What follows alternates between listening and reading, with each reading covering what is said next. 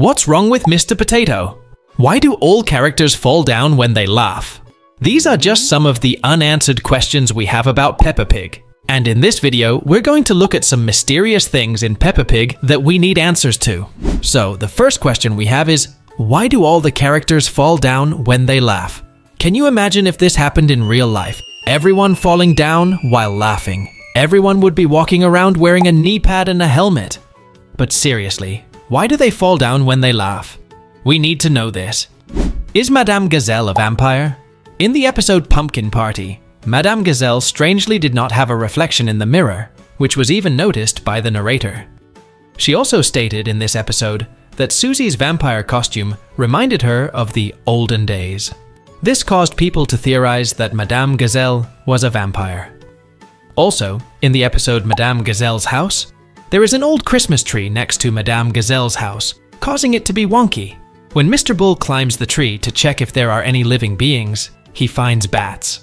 Madame Gazelle says that her friends, the bats, have reminded her of the old days. Also, since the Christmas tree is very large, and Madame Gazelle had owned it since it was a little tree, this implies that Madame Gazelle could be immortal. These two episodes have spooked people out and show in a subtle way that the Peppa Pig franchise is darker than we may have expected, and that there is indeed a backstory.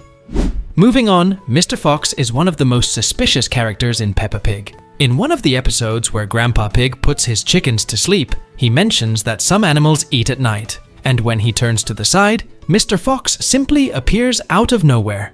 That's really suspicious. As we all know, foxes are notorious for attacking the farms during nighttime. So, Mr. Fox wandering around the chicken coop at night might be hinting at something. Similarly, in the episode The Police Station, we see some posters outside the police station. In the poster, we can see fox symbols, one on each side. This might mean that Mr. Fox is wanted by the police because in his shop, all his items have his sticker, which closely resembles what's on the poster. This all looks very interesting despite this being funny. It might be proof that he is indeed a professional thief. And even funnier thing about all this is that we see little Freddy has a natural inclination to be a policeman. When Peppa and Susie are talking about the future, and we see what seems to be the girl's imagination showing them years ahead, they pass by adult Freddy, and he's already a policeman. Maybe Freddy will arrest Mr. Fox in the future. Who knows? But one thing is sure, there's something fishy going on with Mr. Fox. In one of the episodes, the whole family is watching Mr. Potato on television. Mr. Potato is doing an exercise program, so in Peppa Pig's world, a potato is apparently a symbol for physical fitness. But here's where it gets really bizarre. Mr. Potato encourages his viewers to eat a healthy diet, which includes a lot of fruits and vegetables. Mr. Potato knows he's a vegetable, right? So, is this a talking animal in a costume? Or does Mr. Potato have the distinction of being the only ginormous living vegetable in this place? Pretty weird, isn't it? Now, let's talk about one of the most disturbing questions about Peppa Pig. In the episode The Fire Engine, we see Daddy Pig and his soccer team meeting for a barbecue. When we look at the characters in the barbecue, we can see that there is a zebra, a rabbit, and a pony who are vegetarians.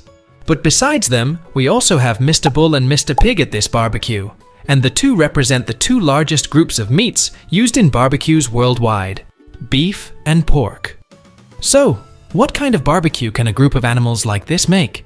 It's really disturbing to think about, isn't it? Anyone who's watched the show has surely noticed that the ground shakes when Daddy Pig jumps up and down, and no one seems to notice all these little earthquakes. Okay, we know the characters are pigs, but maybe Daddy Pig should go on the Mr. Potato diet and slim down a bit. He's going to wreck the whole town if he keeps it up. As we know, Peppa is the elder sister of George, and George is clearly a lot younger than Peppa, but they're in the same class at school. That's a bit odd, don't you think? Maybe Georgie is exceptionally gifted and way ahead of the rest of his grade at school. He seems to be able to do all the things Peppa can do in class, so it's possible that he's a little piggy genius. Another theory is that Peppa has some sort of learning disability and she's being held back a few grades. The show doesn't explicitly clarify this, leaving it open to interpretation. All the animal families live in houses on top of huge hills. The creators of the show said they drew the houses this way because they're supposed to resemble a kid's drawings. They wanted to make the show from a kid's point of view, and they just thought it would be funny to make the houses on top of super steep hills. But not everyone has a house on a hill. The rabbit family lives in a burrow inside a hill. When the rabbit kids come to Peppa's house, little Richard Rabbit cries because he's scared of the stairs. Rebecca Rabbit explains that they don't have stairs in their house. The next day, when Peppa and Georgie come over to the rabbit house for a playdate, they are surprised to find out that the rabbit family lives underground. They have to crawl through a dirt tunnel to get to their bedroom, and apparently all they can afford to eat are carrots, which they claim to love. So why is the rabbit family literally dirt poor? Is this town prejudiced against rabbits? This is kind of messed up. And talking about Rabbit, let's discuss about Miss Rabbit's jobs. Why does she work so many jobs? Apparently, Miss Rabbit has been a helicopter pilot, rosary clerk, librarian, bus driver, ice cream merchant, train driver, recycling center operator, and ticket booth attendant.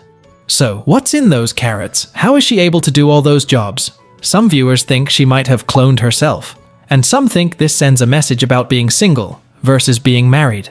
Or maybe Miss Rabbit is a workaholic to compensate for her deep feelings of oppressive sadness at the fact that she's forced to live underground in a burrow while everyone else gets a house on a hill. We're just speculating here, but it seems the system is rigged against the rabbits. One of the weirdest things about the show is that some of the animals are just normal animals, like the ducks at the park and their goldfish. Meanwhile, Peppa Pig and her friends and family all talk and have human qualities. Why is that? Why do some animals behave like humans and some behaves just like a normal animal? It's almost as confusing as that talking potato.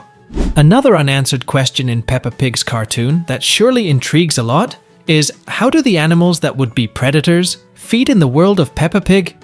For example, in the episode where George gets sick and the family calls Dr. Bear, and as we all know, bears are one of nature's biggest carnivores.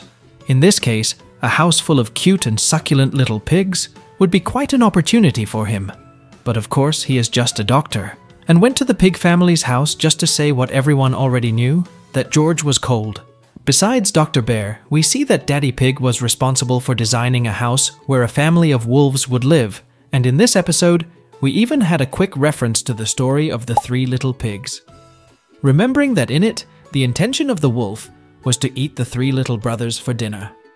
Besides these two, we can't forget about the lion and the crocodile who work at the zoo in Peppa's City. We noticed that among all, the only person who was frightened by these ferocious animals was Madame Gazelle. So, the question is what do they eat on a daily basis? After all, is it vegetables? But if they only eat vegetables and fruits, if they eat Mr. Potato or the blueberry, will they become carnivores again? Seriously, this show can be confusing sometimes. And with that, we've come to the end of the video, and as always, we'll see you all in the next video.